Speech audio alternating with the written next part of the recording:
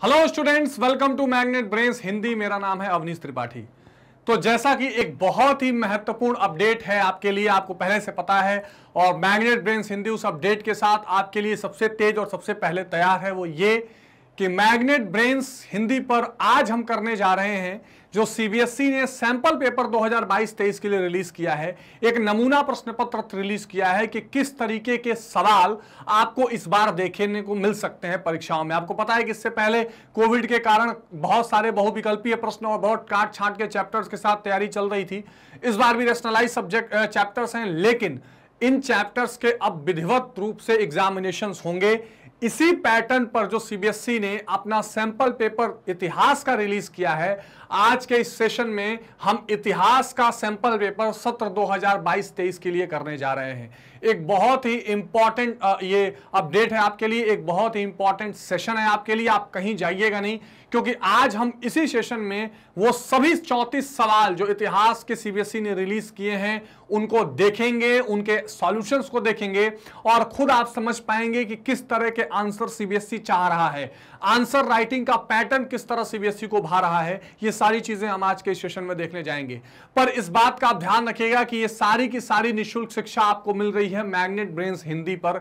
एक ऐसा प्लेटफॉर्म जहाँ पर आपको किसी भी तरह की पढ़ाई, कक्षा सात से बारह तक की सारी शिक्षा बिल्कुल निःशुल्क दी जा रही है बिना किसी पेड सब्सक्रिप्शन के। यहाँ पर एक या दो चैप्टर पढ़ने के बाद आपको कोई पेड सब्सक्रिप्शन नहीं लेना। आपकी परीक्षा के लिए जो कुछ महत्वपूर्ण होगा, आपका syllabus sample paper important question MCQs सारी चीज़ें हम निःशुल्क रूप से कवर करने वाले हैं। इसी क्रम में आज मैं आपके सामने लेकर आया हूँ CBSE sample paper question paper जो है, इसका सॉल्यूशन और वो सॉल्यूशन भी किसने दिया है? वो सॉल्यूशन भी सीबीएसई ने ही दिया है।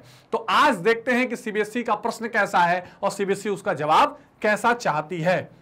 तो जैसा कि आपके सामने इस तरह का कुछ क्वेश्चन आएगा कि 80 मार्क्स का आपका पूरा एग्जामिनेशन होगा 80 नंबर की परीक्षा आप देंगे और जिसके लिए आपको समय दिया जाएगा तीन घंटे, यानी your effective time will be three hours जैसे आप पहले किया करते थे। तो तीन घंटे के समय में आपको 80 नंबर का सवाल हल करना है। अब कुछ सामान्य निर्देश है, इसको देख लेते हैं। जैसे प्रश्न पत्र में पाँच खंड, यानी फाइव सेक्शन हैं इसमें। ठीक है? पाँच सेक्शंस होंगे अ, ब, स, द और य। तो ये पाँच सेक्शन होंगे और कुल चौतीस या थर्टी फोर प्रश्न होंगे इसमें। ठीक है? कुल चौतीस सवाल आपको इस पाँचों सेक्शन को मिलाकर दिए गए हैं, जो सभी के सभी प्रश्न अनिवार्य हैं, ये ध्यान रखिएगा। Each and every question are compulsory खंड अ प्रश्न एक से इक्कीस तक एमसीक्यू है, जो एक नंबर के हैं। तो ये इंपॉर्टेंट है। बार बार हम लोगों ने देखा था बार बार एमसीक्यू सेशंस में करा रहा था तो बहुत बच्चे बीच में करते, सर, अब तो एमसीक्यू एग्ज़ाम खत्म हो गए। अब तो दीर्घोत्तरीय लघुत्तरीय आएँगे। लेकिन देखिए सीबीएसई e खेल गया। एमसीक्यूज अब आपके लिए बेहद इंपॉर्टेंट हो गए, इसलिए आप एमसीक्यूज को ज़रूर देख लिया करेंगे। तो प्रश्न एक से इक्कीस तक के एमसीक्यूज हैं, और वो एक एक मार्क्स के हैं। प्रश्न संख्या 22 से 27 तक लघु उत्तरी प्रश्न है और प्रत्येक प्रश्न तीन अंक का है, जो आपको 60 से अधिक शब्द में नहीं होना चाहिए।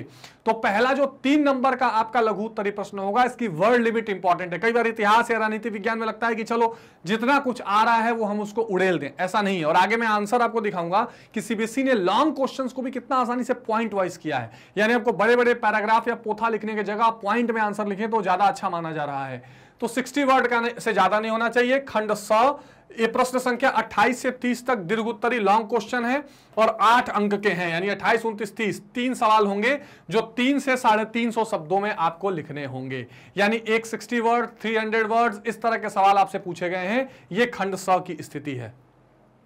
इसके बाद खंडदा जो 31 से 33 तक के स्रोत आधारित प्रश्न है, जिसको बोलते हैं source based source based questions यानी आपके सामने आपकी एनसीईआरटी से ही, क्योंकि मैंने उन सोर्स को चेक किया है, वो आपके ही एनसीईआरटी से उठाए गए हैं। कुछ पैराग्राफ दिए जाएँगे जिन पर आधारित प्रश्न आपको करने होंगे और सभी चार अंक के होंगे। खंड या मानचित्र पर आधारित प्रश्न होगा, जिसके पाँच अंक होंगे, जिसको आप बोलते हैं क्या? Map based questions map based questions तो ये मानचित्र आधारित प्रश्न होने वाले हैं। जो मानचित्र आधारित प्रश्न क्या होंगे? आपके लिए बेहद खास और ज़रूरी होंगे। इस बात का भी आप ध्यान रखिएगा। एक और निर्देश इसमें लास्ट में दिया गया है कि कोई सामान्य विकल्प नहीं है। मतलब आपके सारे प्रश्न तो कंपल्सरी हैं। प्रश्न आधारित विकल्प दिया गया है। प्रश्न आधारित विकल्प का मतलब कि हो सकता है कि किसी क्वेश्चन में या और करके क्वेश्चन दे दिया जाए तो और करके आप आंसर कर सकते हैं। इतनी सुविधा भर आपको दी गई है।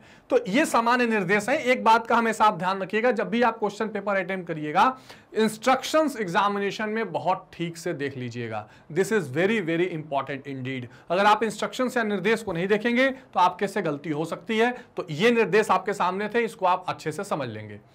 अब क्या है एक आपके सामने अब आप खंड अ का पहला प्रश्न लेकर आते हैं। और ये प्रश्न एमसीक्यूज की तरह है। एमसीक्यू जिसमें बहुविकल्पी जो प्रश्न है, वो कई तरह से पूछे गए हैं। कई बार जैसे कोई स्टेटमेंट देकर उसकी व्याख्या की गई है स्टेटमेंट व्याख्या पर पूछ लिया है। कई बार आपको दे दिया है, चार ऑप्शंस में कौन सा ऑप्शन सही है। कई बार किसी राजा के संबंधित जानकारी देकर आंसर्स पूछा है। तो इस तरह से, कई तरह से इनोवेटिव सवाल बनाने का प्रयास किया गया है। इसका मतलब यह है कि आपको बहुत अच्छे से हर चीज़ों को कवर करके पढ़ना है और अगर आपने मेरे लेक्चर्स जो मैं आपको लगातार दे रहा हूँ, वो फॉलो करते रहेंगे तो आपको कहीं कोई समस्या आने वाली नहीं है।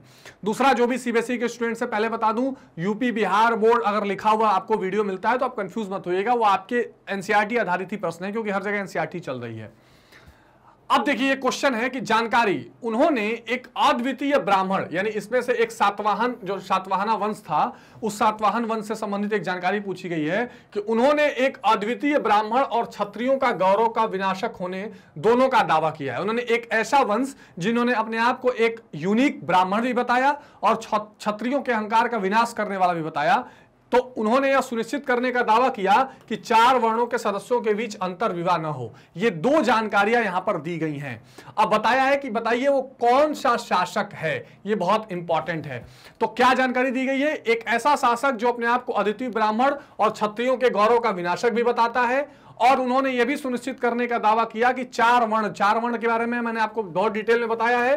कौन कौन सा मेरे साथ बोलिए? ब्राह्मण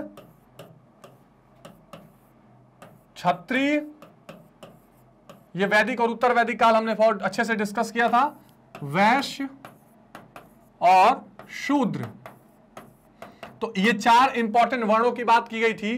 और तो इसमें कोई अंतर विवाह यानी इंटरकास्ट मैरिज ना हो तो इसमें से कौन सा ऑप्शन सही है? गौतमी पुत्र श्री विजय सतकर्णी, क्या वो आंसर है? गौतमी पुत्र श्री सतकर्णी, क्या ये वो राजा हैं? गौतमी पुत्र श्री याना सतकर्णी, क्या वो राजा हैं? वासिति पुत्र श्री पुलमई, क्या ये राजा हैं? जब मैं ये चैप्टर पढ़ा रहा था तो मैंने बताया था कि ये सतकर्णी वंश या ये सतवाहन वंश एक ऐसा उदाहरण था, जहाँ पर औरतों को थोड़ा इंपॉर्टेंस दिया गया था, इसीलिए गौतमी पुत्र माता का नाम पहले आता है इसमें। तो इसका सही जवाब क्या हो जाएगा? Gautamiputra Shri Satakarni is the correct answer जिसमें ये उन्होंने अपने आप को एक एक अद्वितीय ब्राह्मण भी घोषित किया और उन्होंने क्षत्रियों के गौरव का विनाशक होने का भी दावा किया और अंतर जातीय विवाह न हो, इसकी भी व्यवस्था बनाई। तो इसका सही जवाब हो जाएगा ख गौतमी पुत्र श्री सतकर्णी। ठीक है, चलिए आगे चलते हैं। अगला सवाल है कि निम्नलिखित में से किसने पहली शताब्दी में पहले सोने के सिक्के जारी किए? अब हमने देखा कि मौर्य वंश आया और मौर्य वंश की स्थापना के बाद फिर हमने देखा सुंग और फिर बीच में पहली शताब्दी में हमने क्या महत्वपूर्ण देखा? एक इंपॉर्टेंट जो जो वंश स्थापित हुआ कुछ दिन के लिए, जो गुप्ता पीरियड से पहले रहा, वो कौन सा रहा? तो यहाँ ऑप्शन है, योधियास, पार्थियन, गुप्ता या कुषाण। सही जवाब क्या हो जाएगा? कुषाण। क्योंकि इसने क्या क्वेश्चन पूछा है? सबसे पहली और सबसे पहले सोने का सिक्का। तो कुषाण वंश हो जाएगा जिसमें कनिष्का इंपॉर्टेंट लीडर थे आ, राजा थे कनिष्क। अच्छा एक कंफ्यूजन और ध्यान रखिएगा यहाँ गुप्ता दिया हुआ है कुछ लोग गुप्ता को भी सही मान लेंगे। गुप्ता रूलर्स जो थे उन्होंने क्या किया था? सबसे सबसे उच्च सबसे उच्च गुणवत्ता के यानी उच्च क्वालिटी के उच्च गुणवत्ता के सोने के सिक्के जारी किए।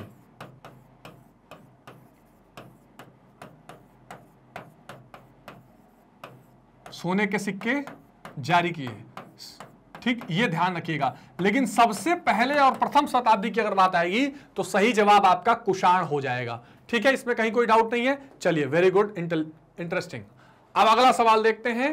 सही मेल करिए। अब ये क्वेश्चन आपके सामने है कि ये हड़प्पा सभ्यता के कुछ स्थल दिए हुए हैं और यहाँ पर किस लिए वो चर्चित था ये दिया हुआ है। ये मैंने बहुत डिटेल में आपको कराया हुआ है। मुझे लगता है कि इससे संबंधित कोई समस्या आपको होनी नहीं चाहिए। देख लेते हैं फिर भी। लोथल, और सामने है शेल उत्पाद के निकटतम स्थल, कालीबंगा कार्लेनियन का नजदीकी स्रोत धोलावीरा नागेश्वर, ये एक तरफ़ है, और जूते खेत का प्रमाण पानी के स्रोत। ये इंपॉर्टेंट चार ऑप्शंस आपके सामने हैं। हम सबको पता है कि काली बंगा का स्रोत संबंध किससे था? जूते हुए खेत के प्रमाण से था। ठीक है, इसमें कोई दिक्कत नहीं है। धोलावीरा जहाँ पर आपको पानी का स्रोत दिखाई पड़ता है, ठीक है? और इसके साथ ही जो लोथल रहा, वो कार्लेनियन का एक स्रोत, नजदीकी स्रोत दिखाई दिया और नागेश्वर शेल उत्पादन का निकटतम स्थल दिखाई दिया। अब आपके सामने ऑप्शंस हैं। ऑप्शंस आप देख सकते हैं कि पहले का ए इसमें, ये सीबीएसई ने ऑप्शंस दिए हैं, जिसमें क सही जवाब है। पहले का बी दूसरे का सी तीसरे का डी और चौथे का ए ठीक है? तो पहले का सी जैसे मैंने आपको बताया, जूते सॉरी एक सेकेंड एक सेकेंड एक सेकेंड। ऑप्शंस क्या है? पहले का बी दूसरे का सी बिल्कुल ठीक बात। तो पहले का बी दूसरे का सी तीसरे का डी और चौथे का ए ठीक है? चौथे का क्या है? चौथे का ए ये बिल्कुल सही मैच है। ये this is the correct answer ये आपके सामने ऑप्शंस में भी दिया हुआ है पहले कभी लेकिन आप यहाँ से इजीली समझ सकते हैं कोई दिक्कत नहीं है। जो लोथल है ये आपको कॉर्लेनियन का नजदीकी स्रोत दिखाई पड़ा। लोथल के बारे में और हमने क्या देखा था? बंदरगाह। बंदर गाह तो अक्सर लोग बंदरगाह से ही आ, संतुष्ट हो जाते हैं पर एक्चुअली कार्लेनियन का नजदीकी स्रोत भी था। ये सोर्स ऑफ़ कार्लेनियन था। कालीबंगा में जूते खेतों का प्रमाण मिला है। नागेश्वर में सेल उत्पाद का निकटतम स्थल मिला है। धोलावीरा में पानी के स्रोत मिले हैं। कमेंट सेक्शन में बताइए कि बनवाली, ठीक है? बनवाली, यहाँ पर क्या मिला है? आप जल्दी बताइए। ठीक? मोहन जोदड़ो में क्या मिला है, ये भी बताइए। ठीक? चलिए, जल्दी बताइए। मैंने बहुत डिटेल में चैप्टर में पढ़ाया है। प्लीज़ आप ईटे मन के अस्थियाँ वाला जो चैप्टर वन है, होम पेज पे हमारे चैनल पे दिया हुआ है, ज़रूर आप उसको देख लेंगे। So this is the correct match आगे बात समझ में इसमें कोई कंफ्यूजन तो नहीं है? चलिए, आगे देखते हैं जी। तो ये इसका क सही जवाब हो जाएगा। अगला सवाल है कि निम्नलिखित में से कौन सा सही व्याख्या एंडोगेमी के बारे में बताया गया है? तो एंडोगेमी की सही व्याख्या क्या है? एक रिश्तेदार समूह के बाहर विवाह, एक परिजन समूह के भीतर विवाह, एक महिला जिसके कई पति हैं, एक महिला जिसके एक पति हैं तो पोलीगोमी मोनिगोमी की बात हो गए। लेकिन इंडोगेमी की बात की गई है तो इसमें सही जवाब हो जाएगा, एक परिजन समूह के भीतर जो विवाह होता है, इसको इंडोगेमी कहते हैं। ठीक है, विवाहों के बारे में भी विस्तृत चर्चा मैंने चैप्टर में की हुई है। अगला सवाल है, ये एक इमेज सीबीएसई ने दिया हुआ है और बोला है कि इमेज बताइए तो ये किसकी छवि है? गुप्त राजा की मूर्ति है, मौर्य राजा की मूर्ति है, कुषाण राजा की मूर्ति या चोल राजा की मूर्ति? सही जवाब हो जाएगा, ये कुषाण राजा की मूर्ति। आपको मैं बार बार कह रहा हूँ कि आप एनसीईआरटी के एक एक पेज को पढ़िए। और नहीं भी पढ़ेंगे तो हमने जो चैप्टर कवर किया है, वो निश्चित रूप से आपके कुछ इंपॉर्टेंट चैप्टर्स हमने, सारे के सारे इंपॉर्टेंट चैप्टर्स अभी तो कुछ चैप्टर्स बाकी हैं, लेकिन लगभग सभी चैप्टर्स को हमने एनसीईआरटी पैटर्न पर कवर किया, आप वहाँ से ज़रूर पढ़ लेंगे। एक और वहाँ से जितने भी कंफ्यूजन है, आपको दूर हो जाएँगी, कोई डाउट हो तो वही कमेंट बॉक्स में बता देंगे। तो जब आप एनसीईआरटी के इन पेजेस को और इन जगहों को देखेंगे तो अपने आप आपके कंफ्यूजन क्लियर होते रहेंगे। अगला सवाल है, अपने लिए दीपक बनो जैसे तुम सबको अपने छुटकारे का काम करना है। नीचे दिए गए विकल्पों में से बुद्ध के शब्दों का सार पहचाने। तो गौतम बुद्ध, हमने चर्चा किया, बौद्ध धर्म की स्थापना की, ठीक है? उनको सारनाथ में पहला उन्होंने उपदेश दिया और बोध गया में उनको जो ज्ञान की प्राप्ति हुई और कुशीनगर में उनका महापरिनिर्वाण, यानी उन्होंने शरीर त्याग दिया और सबसे ज़्यादा उन्होंने अपने जो उपदेश दिए श्रावस्ती में दिए थे। सॉरी, लुम्बनी में उनका जन्म हुआ। तो ये बोल रहे हैं अपने लिए, दीपक गुण इसका सार क्या है? व्यक्ति को आंतरिक अस्तित्व से जुड़ना चाहिए। ब्रह्मचर्य का जीवन जीना चाहिए, व्यक्ति को ध्यान केंद्रित करना चाहिए और भावनाओं को व्यक्त करना चाहिए, हर जगह धर्म का प्रसार करना चाहिए। ये चारों चीज़ें बुद्ध की ही हैं। बुद्ध ने इस पर बात की है, इसमें कोई दो राय नहीं है। लेकिन अपने लिए दीपक बनो इसका अर्थ क्या है तो व्यक्ति को आंतरिक अस्तित्व से जुड़ना चाहिए सही जवाब हो जाएगा। यानी अपने इंटरनल में जाकर, अपने अंतरात्मा में जाकर ज़रूर इन चीज़ों से जुड़कर और प्रयास करना चाहिए कि हम स्वयं को पहचान सकें। ठीक बात है? बौद्ध धर्म, जैन धर्म पर हमने डिटेल वीडियो की हुई है, इसको आप ज़रूर देखते रहें और अपने एग्ज़ाम की तैयारी करते रहें। आगे देखते हैं निम्नलिखित राजवंशों में से किस एक ने हिरिया नहर का निर्माण किया? ये बहुत इंपॉर्टेंट है। तो ये कि, ये किससे संबंधित है? ये है विजयनगर साम्राज्य। विजयनगर साम्राज्य। इसकी राजधानी कहाँ रही? विजयनगर है और हम्पी खास करके। ठीक है? और इसकी इसमें कहा है कि हिरिया नहर का निर्माण किसने किया? संगम राजवंश तुलुआ एक जीवित राजवंश और वेदु राजवंश। अच्छा एक खास बात, इसकी स्थापना किसने की थी? इसकी स्थापना की हरिहर एवं बुक्का, जो दो भाई थे। कब की जल्दी बताइए? 1336 में की थी, जब मोहम्मद बिन तुगलक, कौन था? शासक था दिल्ली सल्तनत का। तो इन्होंने इसकी स्थापना की। अब सवाल आता है कि ये किसने की, हिरिया डैम? तो सॉरी हिरिया नहर का किसने किया? तो हाँ ये किया संगम राजवंश, और संगम राजवंश की स्थापना ही हुई थी किसके द्वारा? हरिहर के द्वारा। और संगम, इनके पिता के नाम पर राजवंश का नाम पड़ा तो सही जवाब हो जाएगा संगम वंश हिरिया नहर और उसकी एक इंपॉर्टेंट जो नदी, जो विजयनगर साम्राज्य से जुड़ी है, वो तुंगभद्रा है, इसकी चर्चा हमने डिटेल में की हुई है तो इसको आप ज़रूर देख लेंगे। अब यहाँ रिक्त स्थान की पूर्ति करनी है कि विजयनगर साम्राज्य में स्थानीय व्यापारी जो घोड़ों के व्यापार में भाग लेते थे, उनको क्या कहते थे? गजपति। तो गज के साथ तो हाथी है, आप समझ ही सकते हैं। महानायकसी, कुदिराई चट्टिस, नरपति। सही जवाब हो जाएगा कुदिराई चट्टिस। तो ये ग इसका सही जवाब हो जाएगा। ग आप यहाँ भर सकते हैं। अब ये कुछ ऐसे पॉइंट्स हैं जो आपको पढ़ के थोड़े याद रखने पड़ेंगे दिमाग में। लेकिन बार बार पढ़ने से आपको खुद समझ में आ जाएगा। क्योंकि ये वन लाइन और वन पॉइंट्स हैं जो आपको देखने हैं। हर चैप्टर के एमसीक्यू सेशन आप ज़रूर देख लेंगे जो हमने किए हुए हैं। ठीक है जी, आगे देखते हैं। चिश्ती सिलसिला का सही कालानुक्रमिक क्रम ज्ञात कीजिए। हमने पढ़ा था कि जो सूफी परंपरा भारत में आई तो सूफी परंपरा में चिश्ती परंपरा बहुत महत्वपूर्ण रही। और यहाँ पर पूछा गया आपसे कि इसका सही कालानुक्रम क्या होगा? तो इसका सही कालानुक्रम क्या हो जाएगा? सबसे पहले हो जाएगा, शेख मोइनुद्दीन चिश्ती आए, ठीक? फिर शेख फरुद्दीन जंग आए, और फिर आएँगे शेख निज़ाम शेख निजामुद्दीन औलिया सॉरी शेख नसरुद्दीन जिनको चिरागे दिल्ली कहा गया और फिर शेख निजामुद्दीन औलिया।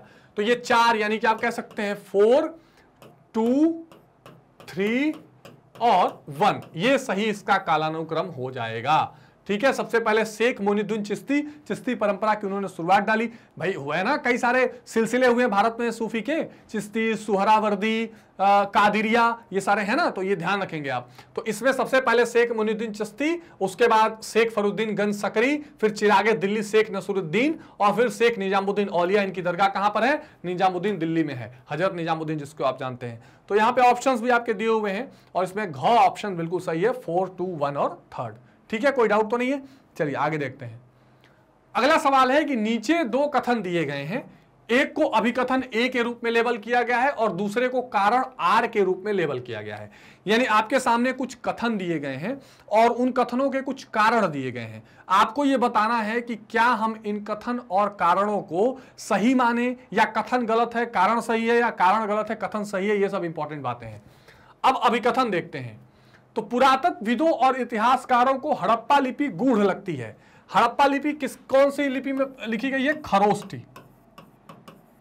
खरोष्ठी क्या होता है? खरोष्ठी होता है जो इधर से इधर लिखी जाए, यानी दाएँ से बाएँ। दाएँ से बाएँ। ठीक है, ये हमने चर्चा की हुई है। अब इतिहासकारों को यह गूढ़ लगती है। कारण दिया है क्योंकि हड़प्पा की लिपि आज तक अस्पष्ट है। बिल्कुल ठीक कारण दिया है। इतिहासकारों को गूढ़ लगती है क्योंकि इतिहासकार अभी तक उसको डेसिफर नहीं कर पाए हैं। इतिहासकार अभी बता नहीं पाए कि उस लिपि का मतलब क्या है, कैसे उसको पढ़ा जाएगा। तो यहाँ पर निश्चित रूप से सही जवाब क हो जाएगा। दोनों ए और आर सही है और आर ए की सही व्याख्या है। ये ऐसे सवाल हैं जो आप कंपटीशन के एग्जामिनेशन में हु ऐसे ही पूछे जाते हैं। So these formats are very important these type of question are very important जिसको आप विशेष रूप से ध्यान रखिएगा। तो इसका क क्या हो जाएगा? सही जवाब हो जाएगा। अगला सवाल है, निम्नलिखित को सही विकल्प के साथ पूरा करें।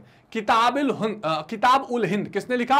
अल बरूनी ने लिखा था। इसकी चर्चा हमने की, जो इतिहासकारों के नज़रिए से वाला चैप्टर हमने किया है। और रिहला किसने लिखा? इब्न हौकली, इब्न जुबैरी, इब्न कलासरीन। जी नहीं, इब्न बतूता, बगल में जूता। तो इब्न बतूता ने यह लिखा है।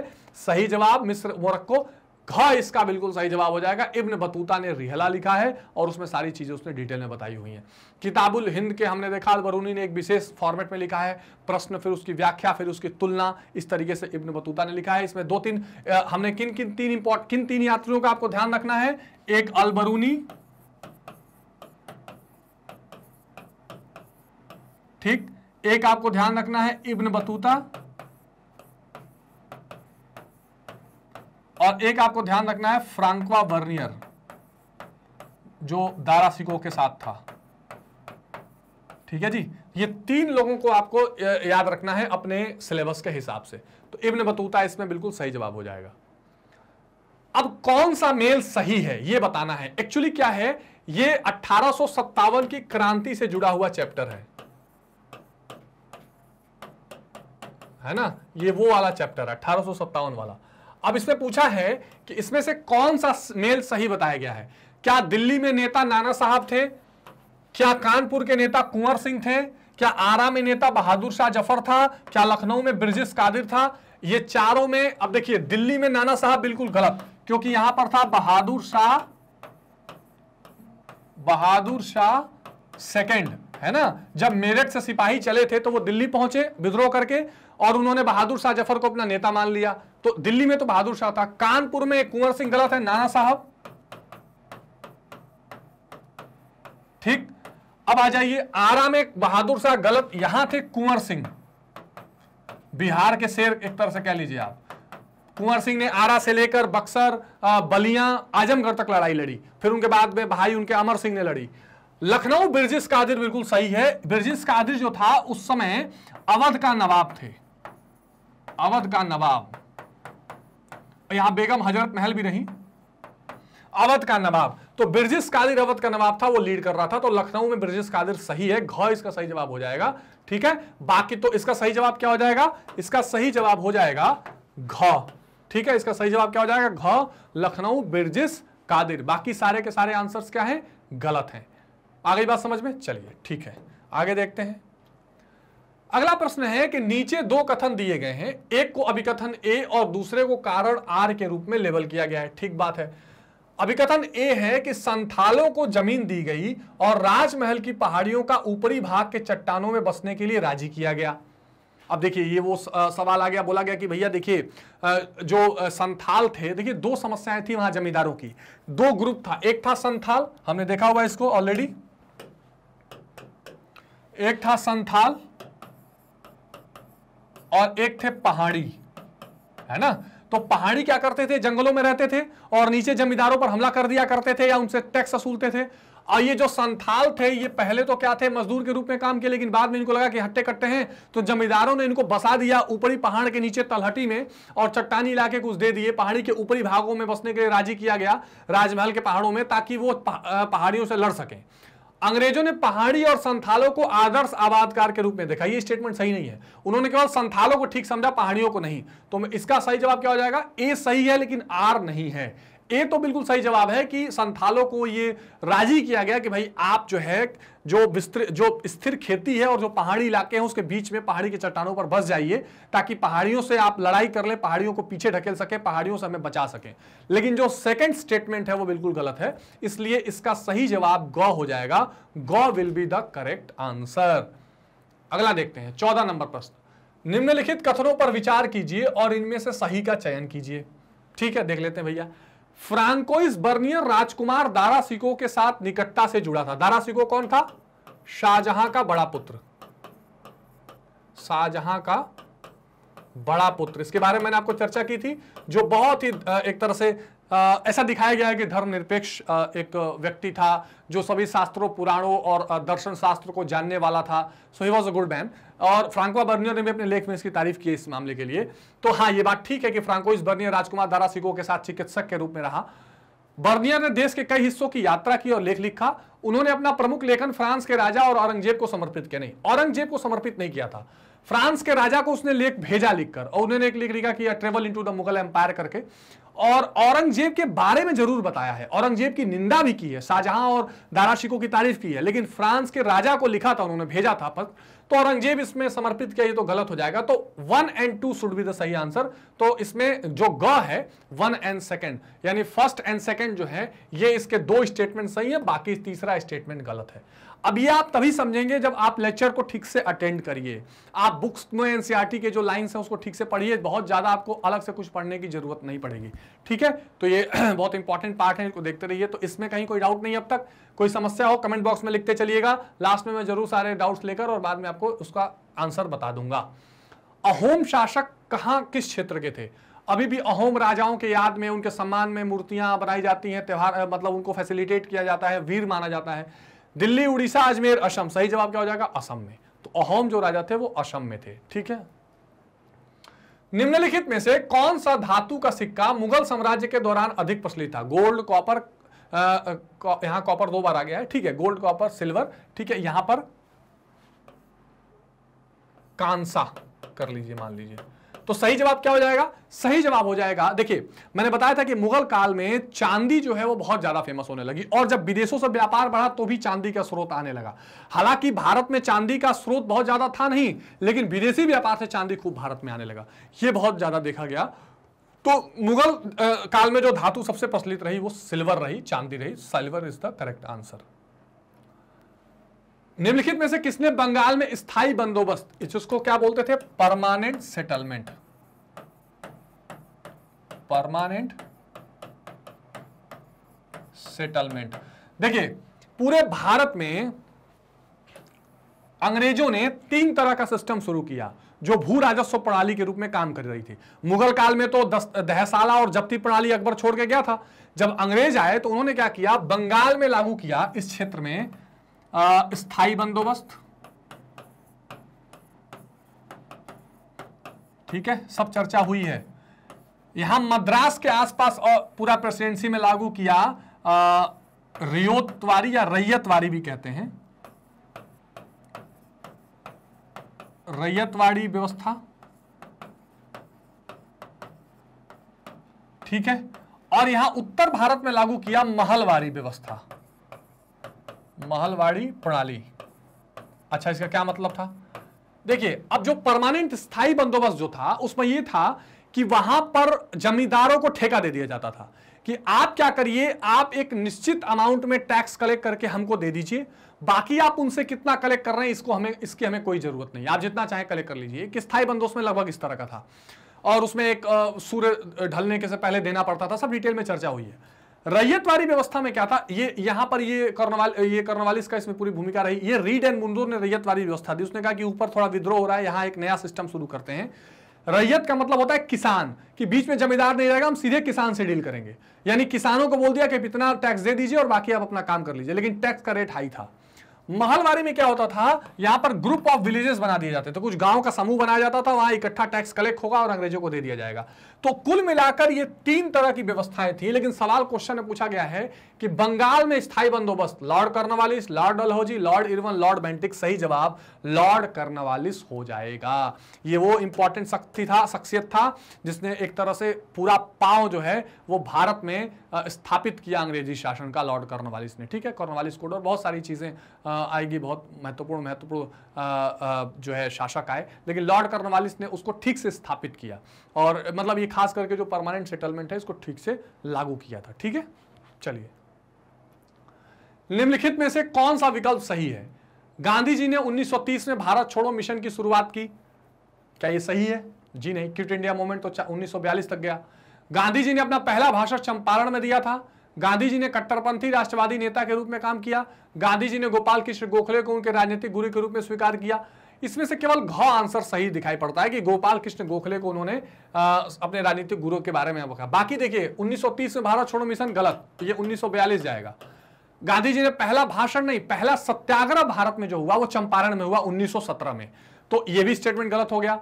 कट्टरपंथी राष्ट्रवादी नेता बिल्कुल नहीं था वो एक लिबरल और आ, मतलब शांतिप्रिय नेता थे एक सामंजस्यवादी नेता थे। तो घ जो है इसका सही जवाब हो जाएगा गोपाल कृष्ण गोखले को अपना पॉलिटिकल गुरु या राजनीतिक गुरु के रूप में मानकर वो चलते थे ये हमने विशेष रूप से देखा है। अगला सवाल है निम्नलिखित युग्म में से ज्ञात कीजिए कि कौन सा सही सुमेलित नहीं है। लॉर्ड वेलिजली सहायक गठबंधन सब्सिडरी अलायंस जिसको कहते हैं लॉर्ड डलहौजी व्यवगत का सिद्धांत Lord Henry Hardinge Enfield rifles का परिचय दिया। लॉर्ड कैनिंग धार्मिक विकलांगता अधिनियम। अब ये गलत है। बाकी देखिए, लॉर्ड वेलेजली ने सहायक गठबंधन यानी सब्सिडरी अलायंस जिसमें एक तरह से सरेंडर करवा दिया जाता था, वो उसने किया था, सही है। डलहौजी ने व्यवगत का सिद्धांत जिसको डॉक्ट्रिन ऑफ़ लेफ़्ट बोलते हैं कि जिसका उत्तराधिकारी नहीं होगा, वो राज्य अंग्रेज़ हड़प लेंगे। और लॉर्ड हार्डिंग ने एनफील्ड राइफल का परिचय दिया। लेकिन जो लॉर्ड कैनिंग का धार्मिक विकलांगता अभियान है, ये गलत है। तो घ इसका क्या हो जाएगा? सही जवाब हो जाएगा। ये इंपॉर्टेंट चीज़ें आप ध्यान रखेंगे। अगला सवाल देखते हैं। निम्नलिखित में से कौन संविधान सभा के अध्यक्ष थे? तो संविधान सभा जिसको कॉन्स्टिट्यूएंट असेंबली कहते हैं 1946 ठीक पहला इसका दिसंबर में अधिवेशन शुरू होता है तो एक दिन का अधिवेशन किया था सचिदानंद सिन्हा ने। लेकिन इसमें से आपको पूछा है कि परमानेंट अध्यक्ष की बात, और परमानेंट अध्यक्ष इसमें से कौन थे? Jawaharlal Nehru, B R Ambedkar, Rajendra Prasad, Vallabhbhai Patel, बिल्कुल नहीं तो इसमें से सही जवाब हो जाएगा राजेंद्र प्रसाद, जो हमारे फ़र्स्ट प्रेसिडेंट भी रहे थे। तो कितना? दो साल, ग्यारह ग्यारह महीने, और 18 दिन में हमारा संविधान बनके तैयार हुआ। कब? 26 नवंबर उन्नीस सौ उनचास। और लागू कब हुआ, जल्दी बताइए? 26 जनवरी 1950 में लागू हुआ, जिसे आप गणतंत्र दिवस के रूप में मनाते हैं। तो उस सभा की जो अध्यक्षता थी, वो राजेंद्र प्रसाद कर रहे थे यह बिल्कुल ध्यान रखेंगे। ठीक है, आगे चलते हैं। गांधी जी निम्नलिखित में से कौन सी भाषा के पक्ष में थे? भाषा मतलब ये राजभाषा, राष्ट्रभाषा की बात थी। है ना? संविधान सभा में जब बहस चल रही थी तो इसमें ये बात थी कि किस भाषा को राष्ट्रभाषा या राजभाषा बनाया जाए? तो हिंदी, उर्दू, हिंदुस्तानी, अंग्रेज़ी, ये चार भाषाएँ थी, जिसमें ये पक्ष थे हिंदुस्तानी के। उर्दू आपको पता है, हिंदुस्तानी और अरबी को मिला, फारसी को मिलाकर बनी है तो हिंदुस्तानी के पक्ष में वो ज़्यादा थे। हड़प्पा सभ्यता के बारे में जानने के लिए किन्हीं तीन स्रोतों, अब हम क्या है? खंड ब पर पहुँच गए। तो ये जो हमारे सवाल थे 21 प्रश्न, ये क्या है? एमसीक्यूज के रूप में है, बहुविकल्पी के रूप में दिए गए हैं। एक बात आप ठीक से नोट कर लीजिएगा कि बहुविकल्पीय में केवल इस तरह के सीधे प्रश्न नहीं है। इसमें क्या है? कथन और कारण वाला भी सवाल है। ठीक? तो इसमें आपको किस तरह से पूछ सकता है? एक, कथन यानी एसर्सन करके और कारण रीजन करके। तो आप इसकी भी प्रैक्टिस लगातार करते रहिए ताकि और हर चैप्टर से इस तरह के कथन और कारण खुद बनाइए। हम तो हम भी इसकी प्रैक्टिस कराएँगे आपको। ठीक? दूसरा, रिक्त स्थान, है ना? इस तरह से भी वन वन मार्क्स के आपसे क्वेश्चन पूछ सकता है। उसके बाद मेल मैच द फॉलोइंग मेल करना, ठीक? और बहुविकल्पीय। तो बहुविकल्पीय तो सब था, लेकिन सिंपल बहुविकल्पीय। इस तरह के तीन चार ऑप्शंस के साथ आपके ये 20 21 प्रश्न दिखाई पड़ रहे हैं। तो अब आपको करना क्या है? अब आपको अपनी पढ़ाई उसी ढंग से करनी है। इसीलिए मैंने मोस्ट इंपॉर्टेंट क्वेश्चंस और एमसीक्यूज वाला अलग अलग सेक्शन कराया है। उन सब में मैंने कुछ में सत्य, असत्य, रिक्त स्थान एमसीक्यू में एमसीक्यूज बीस बीस, पच्चीस पच्चीस कराए हैं। वो सारा देख जाइएगा और मैं कराऊँगा एग्ज़ाम ओरिएंटेड टेंशन मत लीजिएगा। ठीक है, अब आते हैं खंड ब पर सेक्शन बी पर, जो एक शॉर्ट आंसर टाइप क्वेश्चन है। और यहाँ पर एक चीज़ ज़रूर मैं कहूँगा कि वैसे तो क्वेश्चन में दिया है तीन स्रोत, लेकिन यहाँ पर आंसर में सीबीएसई ने कई स्रोत दे दिए हैं, हम सबकी चर्चा कर लेंगे। हड़प्पा सभ्यता के बारे में जानने के लिए किन्हीं तीन स्रोतों का वर्णन कीजिए, ठीक? अब इसमें क्या होगा, वर्णन में आप थोड़ी सी चीज़ें ऐड कर सकते हैं, इसमें स्रोत में कई सारी बता सकता हूँ। जैसे हड़प्पा की मुहर, इसको अंग्रेज़ी में कहते हैं seal of Harappa. Seal of Harappa. अभी हम केवल उन आंसर्स को, वो आंसर्स देख रहे हैं जो सीबीएसई ने दिया है। विशिष्ट कलाकृति, मोती, वज़न ब्लेड टेराकोटा, बुल, ये कुछ ऐसी चीज़ें मिली हैं जिनसे आप हड़प्पा सभ्यता के बारे में विशेष जानकारी पा सकते हैं। और क्या मिली है? कॉपर टूल्स धोलावीरा में जलाशय, जल का स्रोत जिसकी बात मैं कर रहा था। फैंस पॉन्ड्स टेराकोटा की मूर्तियाँ मिली हैं। मूर्तियों में क्या क्या महत्वपूर्ण मूर्तियाँ हैं, ये भी हड़प्पा से ध्यान रखिएगा। एक, पुजारी की मूर्ति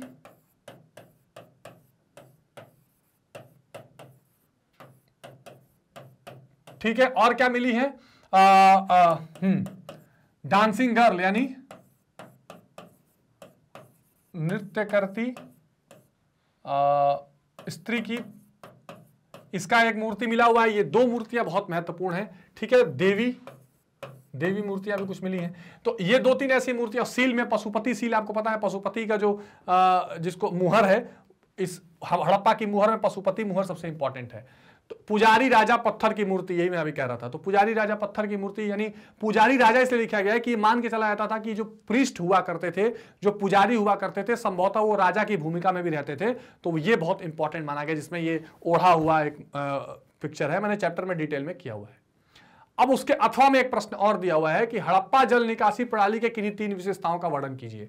हड़प्पा जल निकासी के बारे में मैंने आपको बहुत डिटेल में समझाया हुआ था कि किस तरह से एक नालियाँ बनाई गई हैं प्रणाली वाइज। और एक सिस्टम में नालियाँ बनाकर उनको जलाशय से जोड़ा गया, उनको बड़े नाले से जोड़ा गया है, बड़ा नाला।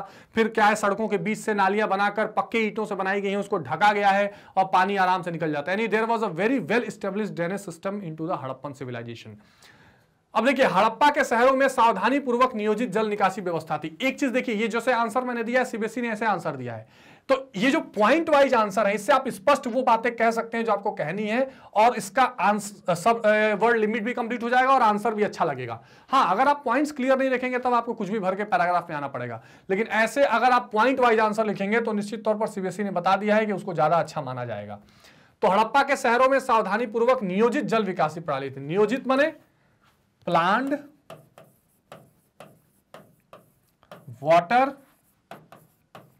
Drainage system. ये हड़प्पा में देखा जाता था कि प्लांट वाटर ड्रेनेज सिस्टम था। दूसरा क्या था? द्वितीय सड़कों और गलियों को एक अनुमानित ग्रिड पैटर्न ग्रिड पैटर्न जैसे मान लीजिए ऐसे ऐसे, ये सड़क है, ठीक? और फिर एक सड़क इसको ऐसे काट रही है और इसी के बगल बगल में ऐसे नालियाँ बनी हुई हैं, है ना? तो ये ग्रिड पैटर्न में नालियाँ थी जो 90 अंश पर एक दूसरे को काटती थी। इस तरह ग्रिड पैटर्न में नालियाँ तैयार किया गया था, जो समकोण पर प्रतिक्षेप करता था। यानी समकोण यानी 90 डिग्री के एंगल पर एक दूसरे को काटता था। पहले नालियाँ वाली सड़कें बनाई गई, फिर साथ में घर बनाए गए। बिल्कुल ठीक बात। तो ऐसा लगता था जैसे ऐसे ऐसे करके पहले सड़क और नाली बना दी गई, फिर यहाँ एक घर, यहाँ एक घर, यहाँ एक घर, यहाँ एक घर, ऐसे घर बनाए गए। यानी जिसको आप कह सकते हैं कि बिल्कुल प्लांट सिटी के तौर पर इसको बनाने का प्रयास किया गया है, ऐसा यहाँ पर दिखाया गया है। ठीक बात है, कोई दिक्कत नहीं अच्छा जी। जली हुई ईटों से ड्रेनेज सिस्टम बनाए गए हैं पक्के हुए ईट जिसे कह सकते हैं। नालियाँ, गारे, चूने और जिप्सम से बनी है, वे बड़ी बड़ी ईटों और पत्थरों से ढकी हुई थी। ये बड़ी इंपॉर्टेंट है। साफ़ सफ़ाई के साथ हाइजीन और स्वास्थ्य का भी बहुत ध्यान रखा गया है। आसानी से उठाया जा सकता था, ताकि उसको उठा के फिर नाले की सफ़ाई की जा सके। तो ये सारी चीज़ें बहुत यूनिक दिखाई पड़ती हैं। चूने के पत्थरों का उपयोग सेस्पिट के रूप में किया जाता था। तो ये बहुत महत्वपूर्ण, ये सवाल का ये जवाब ध्यान रखेंगे आप। अब अगला सवाल देखते हैं। प्रारंभिक अर्ली प्रारंभिक राज्यों की जब मैं चर्चा कर रहा था तो उसमें हमने 16 महाजनपदों की बात की थी। अब सवाल वहीं से आया है। मगध सबसे शक्तिशाली महाजनपद था या जाँच पड़ताल करें? Magadha was the most powerful mahajanapada आज। मगध, अंग वत्स, वज्जी, है ना? मल्ल ये अवंती, ये सारे हमने क्या देखे थे? महाजनपद देखे थे। इन महाजनपदों में मगध सबसे प्रोमिनेंट था। और मगध की राजधानी कहाँ रही? पहले राजगीर, बाद में पाटलिपुत्र। और यहाँ से मगध और ज़्यादा शक्तिशाली बना। क्यों बना? इसके दो तीन कारण थे। भौगोलिक कारणों की मैंने चर्चा की है कि मगध जो है ऐसे जगह पर था जहाँ पर दो तीन इलाके से, दो तीन तरफ़ से नदियाँ थी। वो नदियों से उस उस साम्राज्य की रक्षा भी होती थी क्योंकि एक बॉर्डर बन जाता था पानी का। दूसरा, जल जिसकी सबको ज़रूरत है खेती के लिए, जीने के लिए, वो मिल जाता था। तीसरा, परिवहन का अच्छा साधन मिल जाता था व्यापार और युद्ध के लिए। तो ये सारी चीज़ें भौगोलिक फ़ायदा देती थी। वहाँ पर कई सारे लौह अयस्क पाए गए जो आज का बिहार, झारखंड आप देखते हैं तो उससे हथियारों के लिए लोहा मिलने लगा। खेती उपजाऊ थी, सारी चीज़ें इंपॉर्टेंट थी। तो क्या क्या चीज़ें थी, कैसे शक्तिशाली था, इसका उदाहरण देख लीजिए।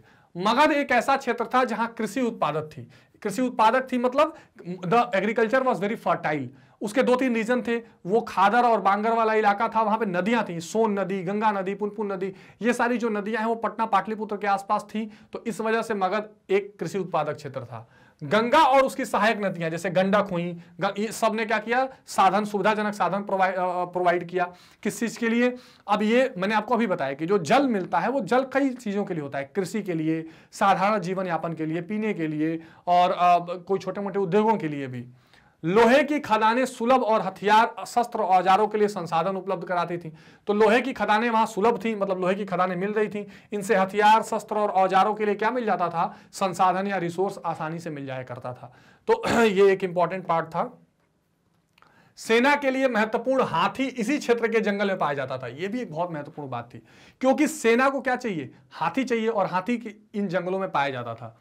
महत्व का अच्छा एक और इंपॉर्टेंट जो चीज़ हुई जिसने इसको बहुत मज़बूत बनाया, वो ये कि इसमें महत्वाकांक्षी कुछ राजा हुए, जिनमें से बिंबिसार अजात शत्रु महापद्मनंद। तो ये महापद्मनंद ने नंद वंश की स्थापना की। इसको मार के सबसे प्रसिद्ध उनके मंत्री, जिन्होंने नीतियों को लागू करने में उनकी मदद की। ठीक इसके अलावा चंद्रगुप्त मौर्य।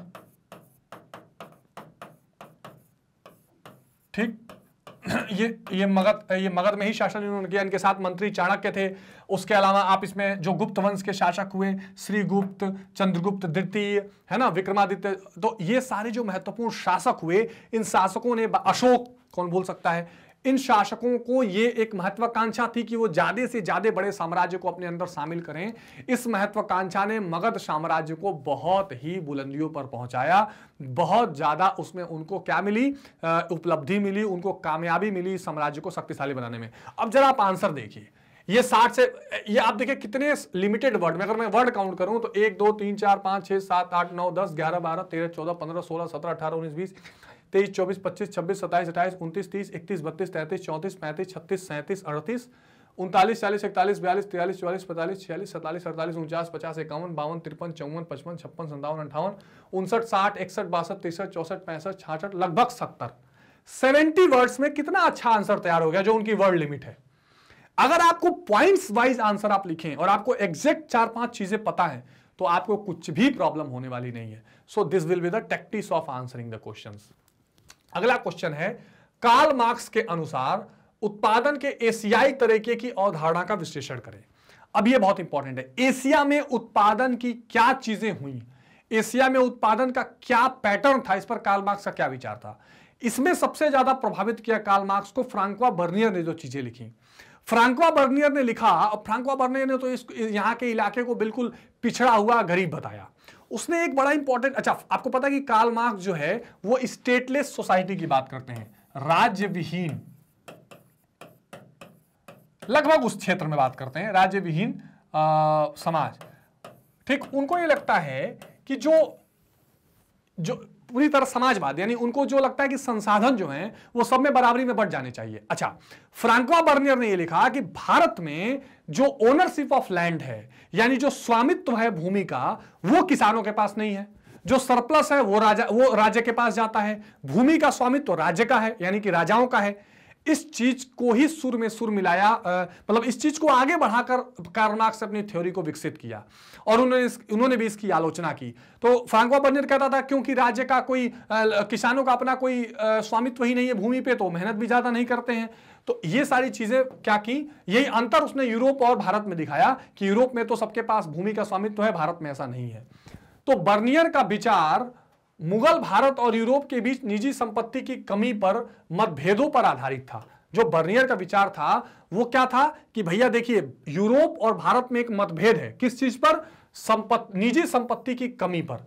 यहाँ पर निजी संपत्ति नहीं है, ऐसा वो बोलता था, और यूरोप में है, इसलिए वो ज़्यादा समृद्धशाली है। तो कॉल मार्क्स ने इसे आगे विकसित किया। इसी बात को कॉल मार्क्स ने आगे बढ़ाया। मार्क्स ने तर्क दिया कि भारत और एशिया के और जो देश हैं उपनिवेशवाद से पहले अधिशेष राज्य द्वारा विनियोजित किया गया था।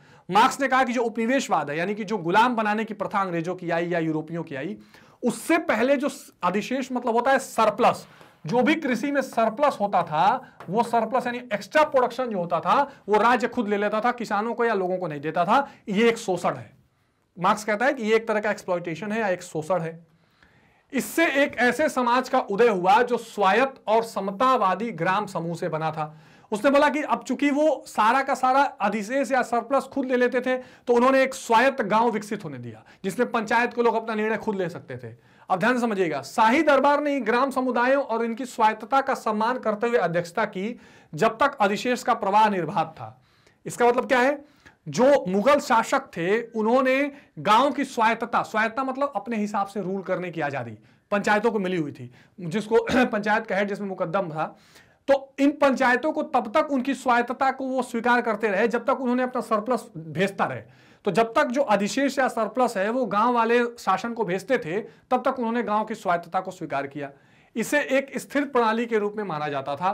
तो मार्क्स ने कहा कि एक फिक्स सिस्टम बन गया था कि जो भी सरप्लस होगा वो स्टेट ले लेगा, इसके बदले में वो एक गाँव को स्वायत्त कर देगा, लेकिन कोई संपत्ति का अधिकार लोगों को नहीं मिलेगा। ये मार्क्स की सोच थी, ऐसा सीबीएसई ने भी आंसर किया है।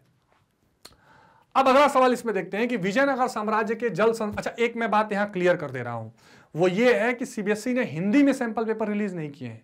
ये सैंपल पेपर मैंने बैठ के खुद आपको हिंदी में ट्रांसलेट करके दिया है। तो एक आध वर्ड आगे पीछे अगर कहीं इंग्लिश से हो तो मैं पहले उसके लिए बोल देता हूँ। ठीक है? ये सूचना जनहित में जारी है। तो अगला सवाल है, विजयनगर साम्राज्य के जल संसाधनों की विशेषता का वर्णन कीजिए। जल संसाधन यानी वाटर रिसोर्सेस ठीक है? तो विजयनगर साम्राज्य में वाटर रिसोर्सेज जो हैं, ये बहुत इंपॉर्टेंट है और इनकी इनकी विशेषता क्या रही? इसका वर्णन कीजिए। तो विजयनगर का प्राकृतिक बेसिन तुंगभद्रा नदी द्वारा बनाया गया था। प्राकृतिक बेसिन यानी जो पानी निकलने या जल जो एक तरह से कह सकते हैं कि जल की उपलब्धता का जो एरिया था, वो तुंगभद्रा नदी से था। इसी से उसको अच्छे अमाउंट में पानी मिलता था। इन चट्टानी बहिर्वाहों से कई धाराएँ बहती थी। तो जो ये बहिर्वाह या जिसको कहते हैं ना वाटरफॉल है, इससे कई धाराएँ बहती थी। जलाशय बनाने के लिए नदियों के किनारे तटबंध बनाए गए। नदी के किनारे एक एक तट को बाँध के गढ़ा, गड्ढा करके उसमें जलाशय बना बना के पानी को इकट्ठा किया जाता था।